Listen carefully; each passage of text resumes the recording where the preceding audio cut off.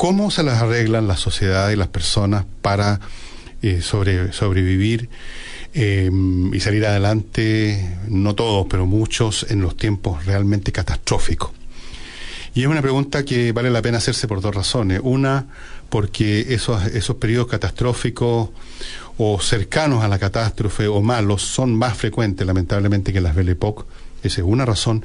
Y la segunda razón es que, por lo que podemos observar cada uno de nosotros mirando su entorno y mirándose a sí mismo, somos muy frágiles y nos, desequilibra hasta la más pequeña alteración de nuestra rutina y por lo tanto es admirable o es extraordinario que eh, cuando esas rutinas son destruidas completamente en una situación de desastre, aún así, y pese a lo frágiles que somos, logramos salir adelante. Épocas desastrosas tienen muchos orígenes y se remontan a los tiempos más remotos por la simple razón que la especie humana, una vez que llegó a existir como tal y se organizó en sociedad desde las formas más, desde las hordas primitivas hasta el presente, ha vivido muchísimos tiempos de, desastrosos, no solamente difíciles, sino que desastrosos. Voy a ponerle algunos ejemplos, los que me acuerdo ahora.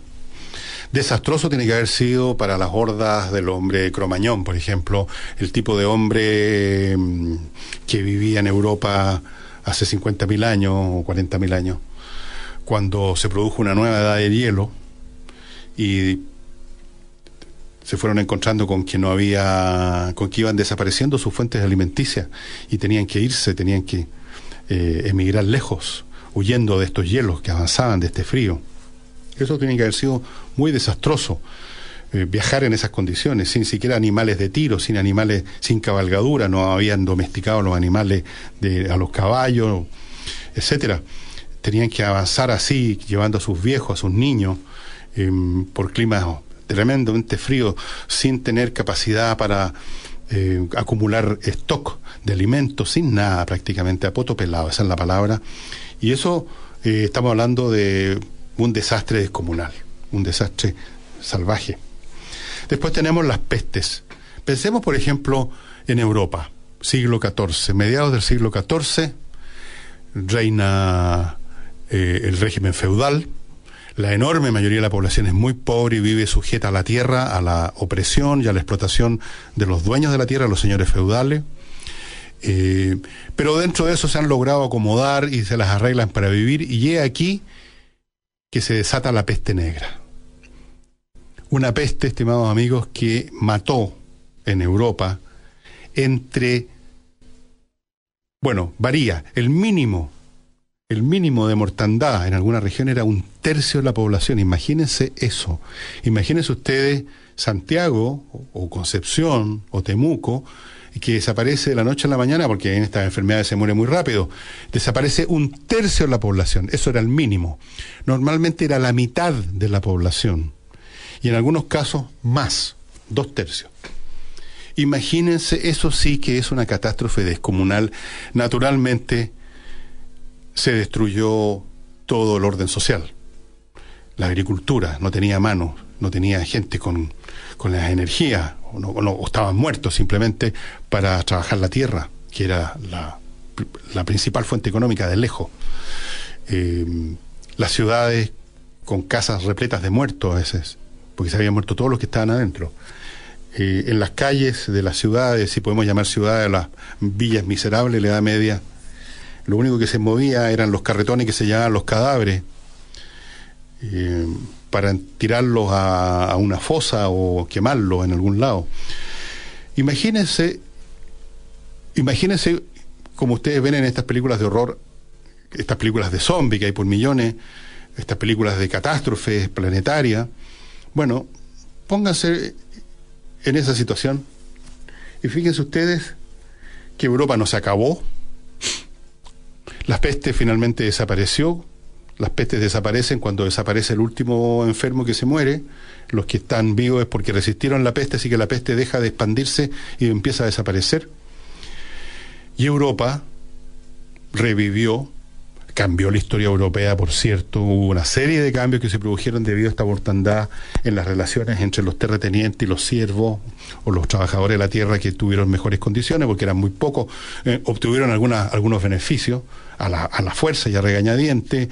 Se generaron una serie de cambios históricos, pero el hecho es que Europa siguió cascando y siguió después creciendo y ya en el siglo siguiente, en el siglo XV, en el siglo siguiente mira todo lo que pasó, se descubrió América, después vienen los demás siglos, la gran revolución científica tecnológica del siglo XVII XVIII, es decir, no se acabó la historia de europea, no se cerró la historia, se sobrevivió. ¿Cómo sobrevivieron esos individuos? Una pregunta.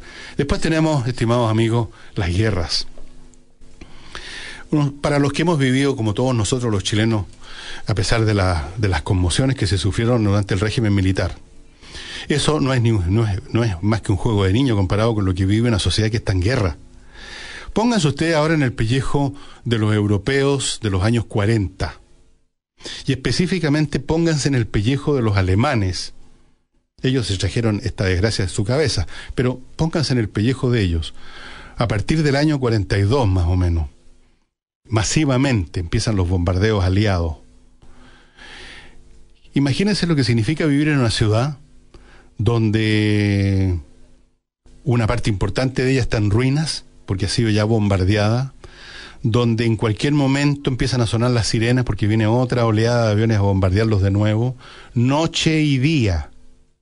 Imagínense ustedes lo que significa vivir en esas condiciones, encerrado en un búnker, temiendo que igual van a morir si les cae justo encima una bomba de demolición o van a morir como murieron muchos quemados, eh, eh, convertidos en ceniza por las bombas incendiarias. Imagínense salir de ahí y encontrarse con una ciudad en llamas, demolida, con su casa demolida, sus bienes de toda una vida pulverizados, las calles repletas de cadáveres carbonizados o restos humanos desventrados por las explosiones. Y eso día tras día, el año 42, el año 43, el año 44, el año 45. Ustedes seguramente han visto estos documentales que se filmaron desde un avión, vista toma aérea de las ciudades alemanas, completamente en ruina, enteras, enteras o en gran parte, el 90%, el 80%. Y esto no solo dos o tres ciudades importantes. No crean esto que esto pasó solamente en Berlín, en Hannover, en Bremen, en Dresden. Pasó hasta en pueblos chicos. Es como si estuviéramos nosotros en Chile en una guerra en que nos bombardearan y bombardearan hasta Pichilemu, bombardearan hasta Curacaví, ametrallaran toda cosa que se mueve por, en cualquier camino. Y sin embargo, miren ustedes, en 10 años después de la guerra Alemania ya se estaba convirtiendo en una potencia industrial nuevamente. Y en este momento Alemania es el poder industrial más grande de Europa y es, diría yo, el eje político y económico de Europa. Es realmente lo que siempre eh, intentó ser y siempre estaba presionando para ser Alemania, la sociedad más poderosa por la disciplina, por la fuerza de sus habitantes, por la, capacidad de trabajo de sus habitantes. Siempre, una y otra vez, vuelve a pararse ese, ese palitroque. Y podría citarle ejemplo ahora ya a un nivel no social, sino que individual. Después de la Segunda Guerra Mundial hubo un montón de estudios, yo recuerdo haber estudiado algunos cuando estaba en la universidad, estudios sociológicos de eh, cómo se vivía y cómo se sobrevivía en los campos de concentración alemanes. Los campos de concentración de los alemanes que los alemanes tenían, no para los prisioneros de guerra eh, ingleses o norteamericanos que vivían en condiciones bastante razonables para ser prisioneros de guerra. Estoy hablando de, por ejemplo, los judíos, estoy hablando de los rusos, los gitanos, o sea, los que estaban en las peores condiciones. Y sin embargo, no murieron todos, salvo que los mataran. Ahí, por supuesto, no hay, no hay por dónde escabullirse. Pero allí donde no los iban a matar directamente, allí donde simplemente los sometían a jornadas de trabajo de 20 horas al día y los sometían a una alimentación la décima parte de lo mínimo para sobrevivir y los sometían a las humillaciones y todo. Ahí donde no los mataron directamente, sino que los mantenían en esas condiciones, murieron muchos, pero sobrevivieron también muchos. Y se ha hecho un estudio. Y algunos incluso de aquellos internados en el campo, un poco por sobrevivir, para tener algo que hacer, en vez de, se concentraron ellos mismos en estudiar su situación y en estudiar eh, cómo funcionaba la vida en el campo. Y esa gente sobrevivió. Esa gente sobrevivió. Entonces, ¿cómo se lo arregla la gente que es tan frágil, para sobrevivir. Estos mismos judíos que sobrevivieron al campo. El día que empezaron los primeros ataques contra ellos en Alemania, cuando ellos vivían en una vida normal, tenían sus casas, sus departamentos, tenían sus negocios, tenían sus profesiones, tenían sus vidas, digámoslo así.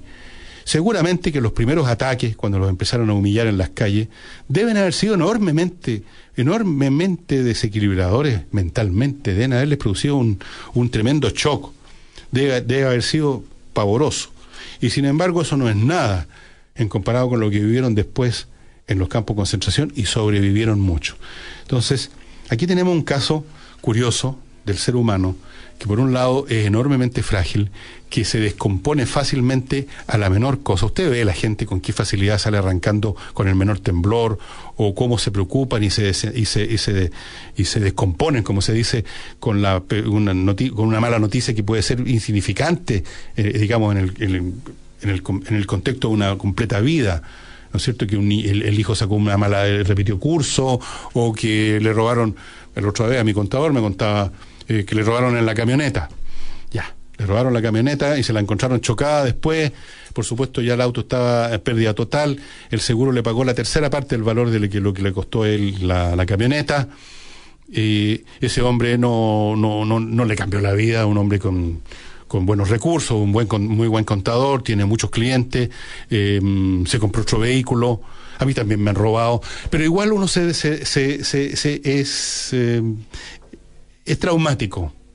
Toda persona que ha sufrido un crimen, que ha sido robada, eh, em, entonces en esos momentos nos hacemos una, un estudio filosófico de decir esto en el contexto de nuestras vidas, esto es nada, no tiene ninguna significación, voy a seguir viviendo, eh, estos flights me robaron, desgraciados, pero no pasa nada. No. Y sin embargo, ese mismo contador o yo mismo, cualquiera de ustedes, he puesto en una situación realmente extrema en que han perdido todo, que les bombardearon la casa y van a sobrevivir. Entonces somos, somos resistentes y somos frágiles al mismo tiempo. Ustedes dirán, ¿cómo? Una cosa a la otra. No las dos cosas se coexisten porque más fuerte que cualquier temor, más fuerte que cualquier desequilibrio, es el instinto de supervivencia. Vamos a una breve pausa y luego regresamos